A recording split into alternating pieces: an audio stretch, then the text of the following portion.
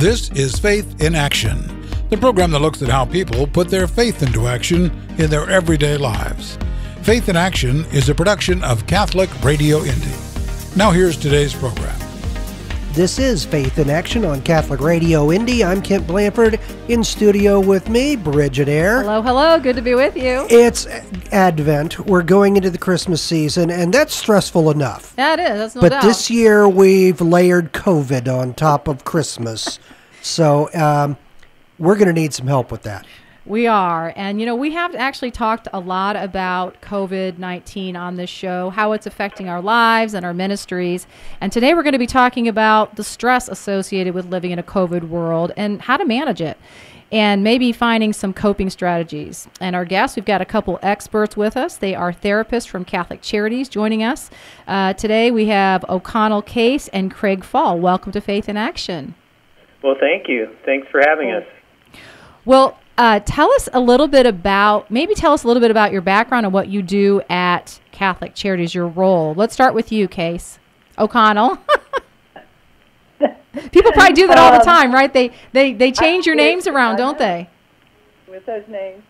Um, I've been in uh, uh, clinical world about 30 years, and I'm a licensed clinical social worker. And my position now is clinical director at Catholic Charities Bloomington. What we do there is um, is increase access to mental health services. And has I'm just curious, has there been a big uptick since this has all happened? I'm because I'm hearing that. Has that been your experience? In August, um, our referrals doubled, and in October they tripled. That's that's saying something right there. Um, Craig, tell us a little bit about yourself and, and, and what you do.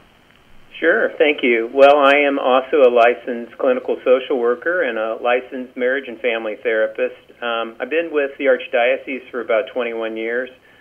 I'm the Senior Associate Director for Catholic Charities. Um, and uh, prior to this, actually, I worked for Franciscan Health for a number of years. I was in administration and mental health there. And then I'm also a part time faculty uh, person with the IUPUI School of Social Work.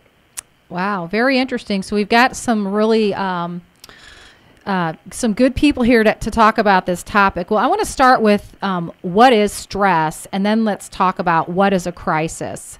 So who wants to take that? O'Connell? Okay, go ahead. Yes. Okay.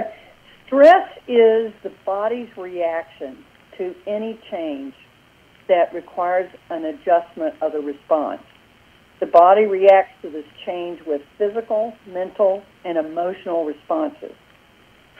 So even though stress is a normal part of our life, um, we can experience stress from environment, your body, or your thoughts. And we've certainly had all three of those with COVID 19. Yeah, that really kind of sorts it out there a little bit. Um, Craig, what about what's a crisis? Do you want to take that one? I will take that. And actually, I've, I've uh, taught uh, crisis theory uh, and uh, have- really uh, spent some time in on some on some crisis teams throughout uh, my professional career. And a crisis is simply um, it's an event really that leads to an unstable situation and. Um, that situation can impact individuals, it can impact groups, it can impact whole societies. And in fact, now we see this global unstableness um, from COVID. So when you put those two together, the, just those definitions, I mean, it really kind of clarifies, you know, why people are feeling so off balance and why it would be causing quite a bit of stress. I- really, um, I'm, I'm curious if, if COVID stress is different from other types of stress. Why or why not? Yeah, and I'll take that, Brigid, um, because it, it really has impacted us in several key areas. Uh, one is our health, a second is our mental health, and, and really the third way is our social relationships. So, three key dimensions, right, in our lives. And COVID has had an unstableness in all three of those. And either, even if we haven't been directly impacted, which it's likely we have, we know someone close to us that has been.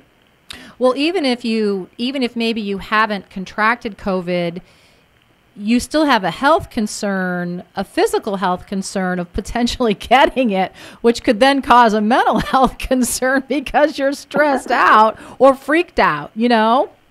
That's exactly right. And, you know, a crisis um, can lead to dangerous situations, and sometimes that is often our thought process and our fears, you know, are related not just to what has happened, but what can happen.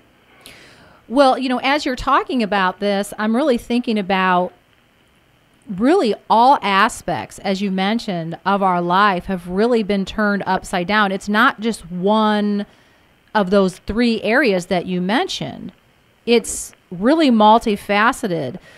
And, and what makes me wonder about just you know when you when your routine is thrown off a little bit i mean just anybody's routine you know you lose your car keys in the you know in the morning or, or just something really simple you know your coffee you can't find your coffee in the morning or something like that.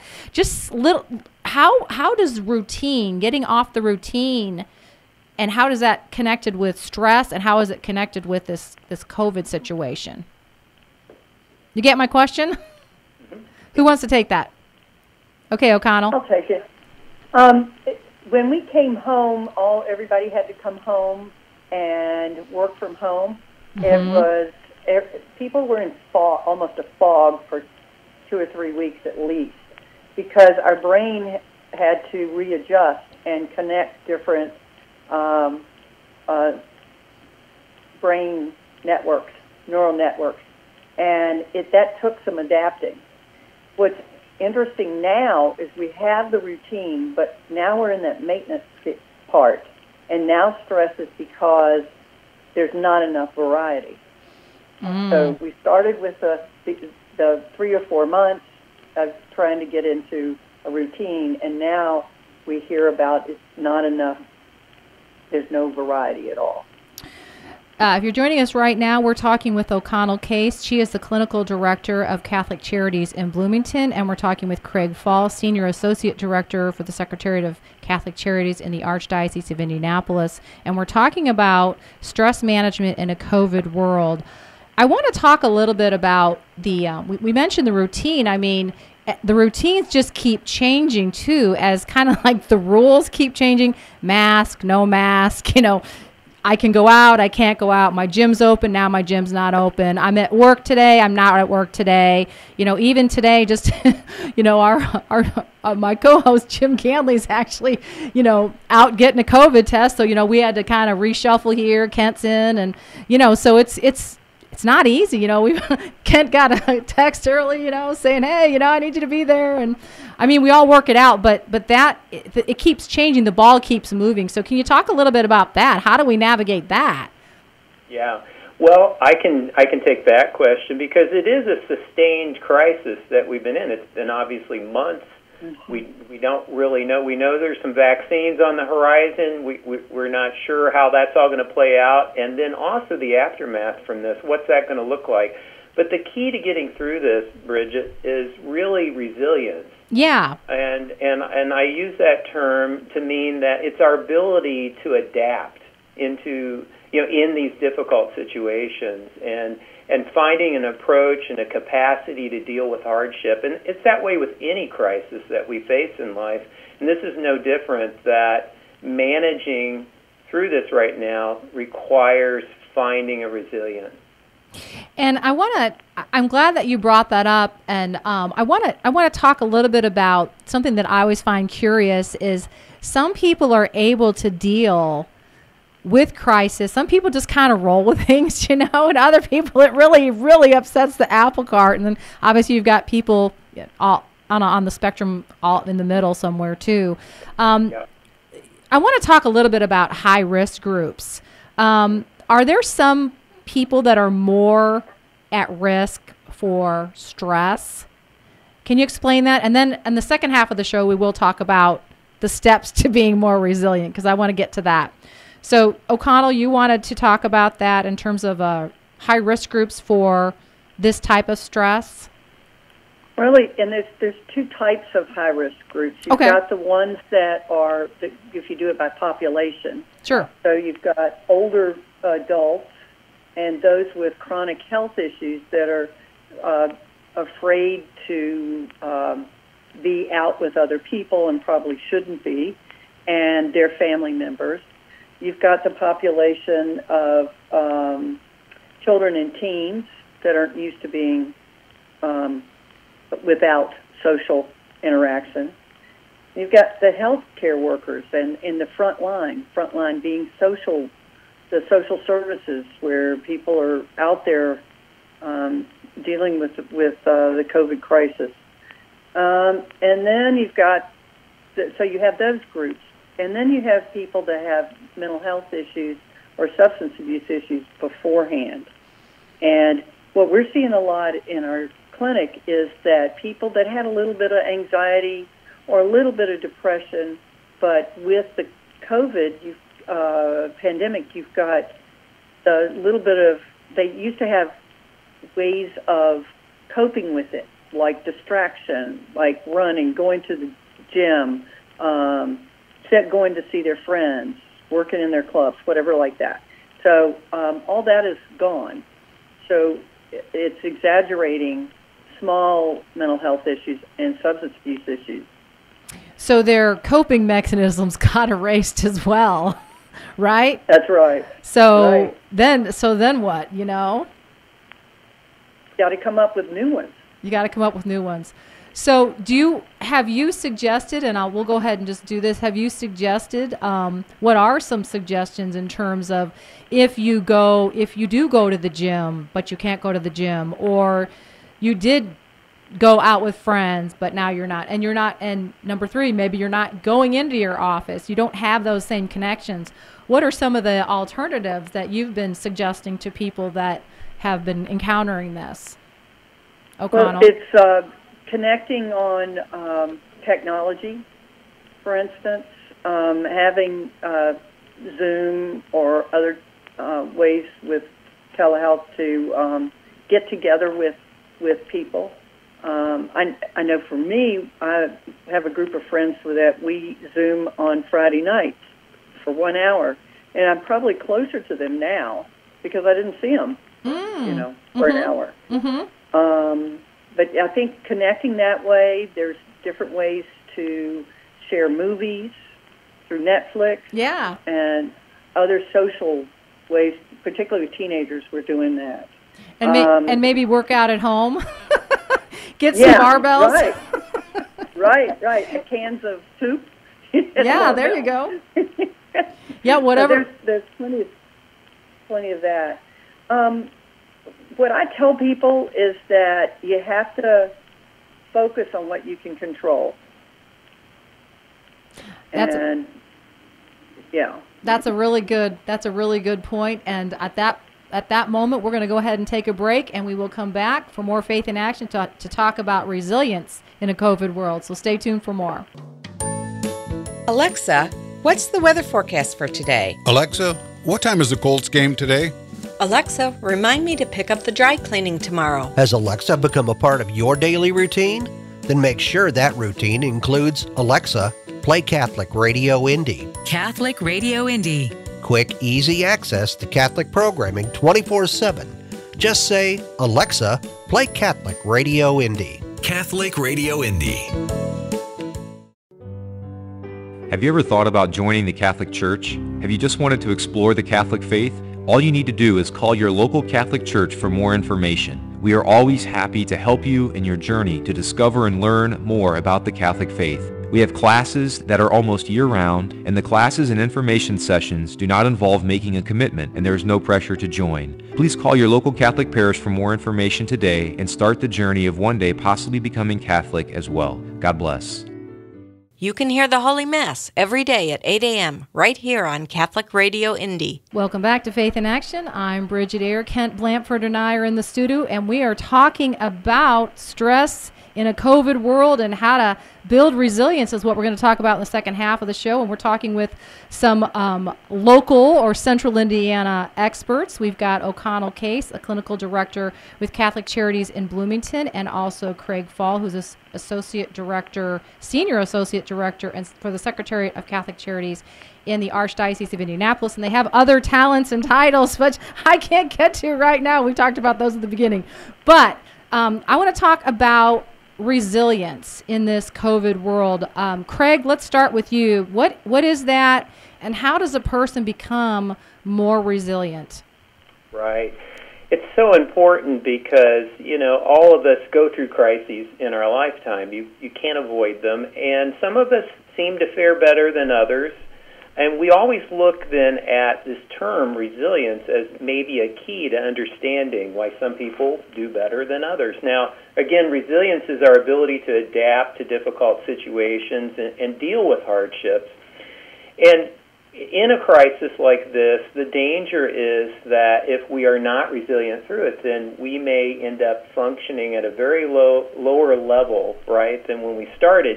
And if we were already having problems, you know, if we already had uh, other crises in our life or situations where we weren't uh, performing very well, let's say mentally or emotionally, then we're not going to be in any better shape, obviously. We could be in much worse shape. So, when we talk about resilience, it's being able to find in those protective factors that are going to help us through, right, the hardship or the crisis that we're in.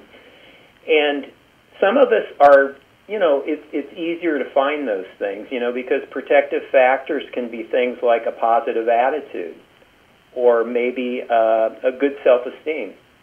But that could be a problem for some of us. Maybe that's not something we uh, have had. So then we have to look at and find ways to develop more protective factors or draw on protective factors that are available to us. So, what would be some other protective factors? And, and I, as we're talking, I'm just thinking about, as you said, you know, depending on where you were at when this additional crisis happened. Like, let's say you're you had a job, you know, your relationships are okay, you have a positive attitude, and then this happens, and then you know your life goes sideways. It's exactly. different. It's different than someone who maybe was, you know, didn't have a job, mm-hmm. and maybe their relationships weren't doing very well and maybe they had something else. And then this happens on top. It's just almost like the straw that broke the camel's back. So depending on where you're at when this happened obviously will determine how well you're faring. But get, let's talk let's talk a little bit more about those protective factors. What are some other protective factors? Let's say you don't have a very good self-esteem or you don't have maybe um, good relationships or something or or positive right. attitude. That was the thing you said Right. That's that's right. Well, I think then we have to look at strong finding strong social supports. You know, okay. we have to look outside ourselves. If if that's been a struggle, then we have to then connect with others that can be helpful to us, and that can be counseling. That could be, you know, visiting a therapist like O'Connell or myself. Um, it could be connecting with family, friends what we want to do is avoid isolation. Now, obviously during COVID, that's what we're being drawn to for safety. And so we're going to have to look at how to reduce that isolation as much as possible and connect with others. I obviously should mention faith mm. as a very important protective fa- factor that we can uh, draw upon. And if that's been part of um, you know, part of us, then uh, we have to go towards that. If it hasn't been, that may be an option that we have to look at. Um, for you know, for children and youth, then uh, they're going to need good parenting, and they're going to really need that support from their mentors and adults around them. And so we're going to have to we're going to have to really focus on that and help people in, in family situations. Um, so, you know, if it's not a natural thing for you, like self esteem or uh, feeling uh, uh, that you can get through things, uh, then you have to find others to help, help you through that. I want to I want to get to the um, how to build a stress management plan. Uh, so uh, O'Connell, do you want to talk a little bit about that and what does that mean and how what's all involved with that? Okay. Um, first of all, I think if we can view this as um, an opportunity, Mm-hmm. it helps. Mm-hmm. Yeah. We could say, okay, you know, parents are home, and this is definitely a different place to be, and kids are home school uh, doing homeschooling, and talk about having to adjust. Um, but it is also we're seeing um, an opportunity for families to get together, to go out to the park, um, to do more family time. That's just an example. So if you could go into it saying, "What's the opportunity here?" I think it helps.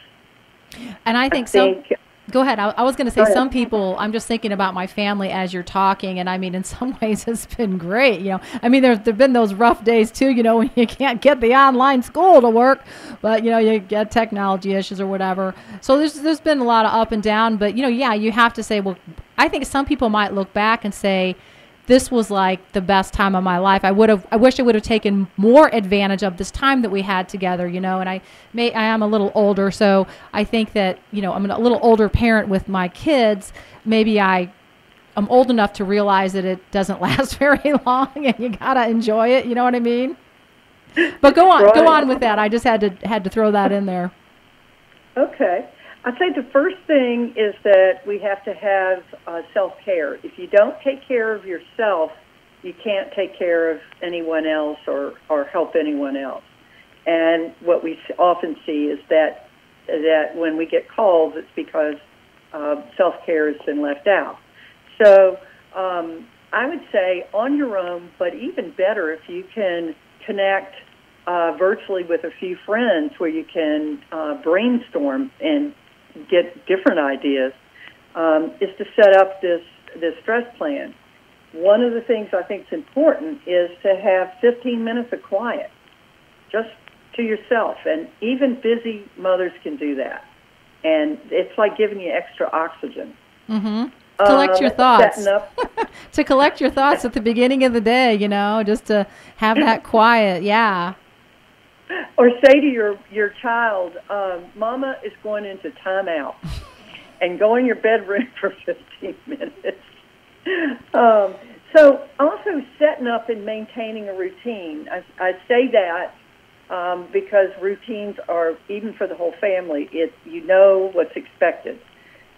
And and then I mentioned earlier that we are now in that maintenance part, and so now we have a routine at home, but it's we're what we're seeing is depression and trying to figure out some variety. So adding some safe variety will help.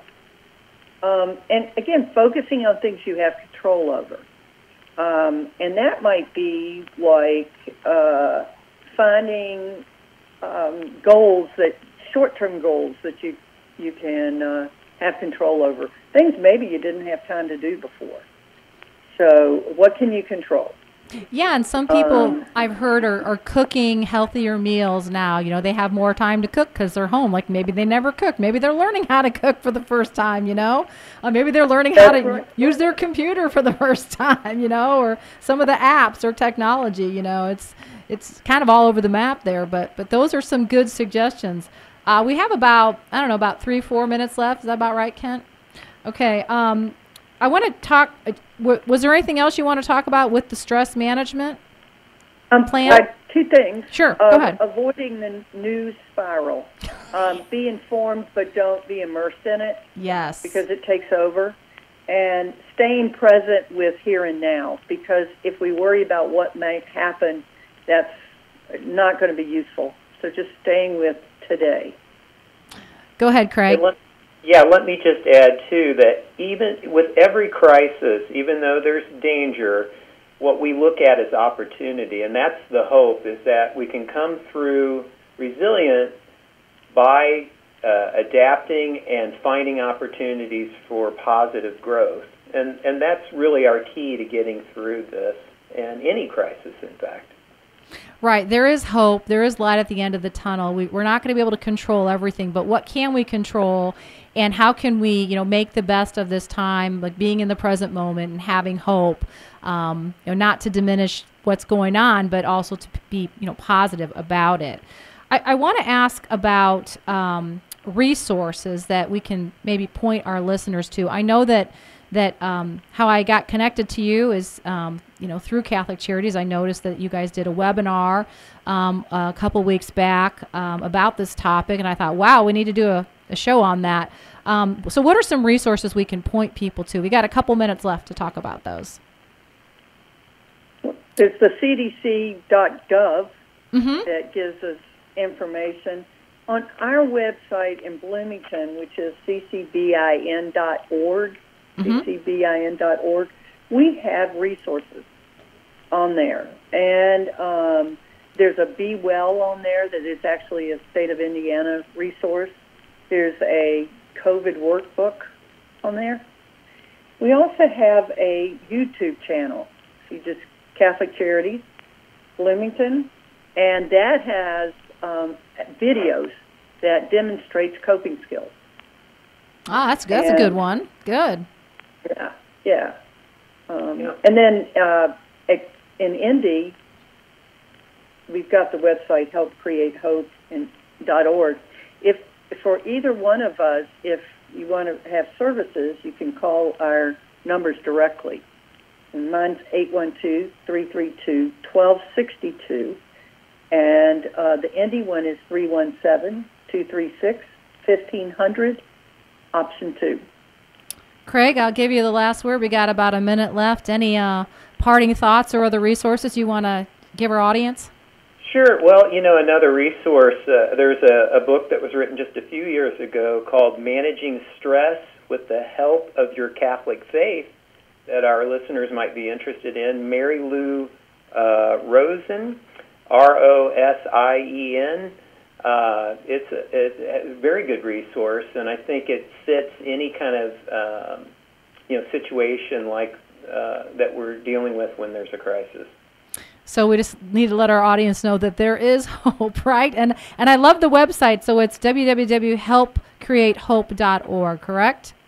Yes, that's correct. All right. Well, I want to thank our guests, O'Connell Case, direct clinical director at Catholic Charities Bloomington, and Craig Fall, senior associate director um, of Catholic Charities here in the Archdiocese of Indianapolis. Thanks so much for being our guest today. Right. Thank, Thank you. you for having us. You have been listening to Faith in Action, the program that looks at how people put their faith into action in their everyday lives. Faith in Action is a presentation of Catholic Radio Indy. You can hear this episode of Faith in Action again or any past episode at CatholicRadioIndy.org. If you have a suggestion for a guest or topic for a future program, please call us at 317 870 8400 or email jim at catholicradioindy.org.